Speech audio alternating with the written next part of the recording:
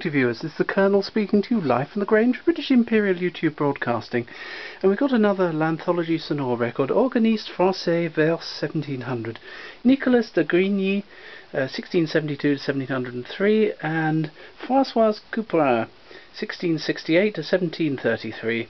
Offertoire sur le grand jeu, parts 1 and 2, uh, played by Mr. Joseph Bonnet, and uh, I can't read the other one, Jeu by Nicolas de Grigny, and it continues on the other side, where I will turn when this record ends. Here we go.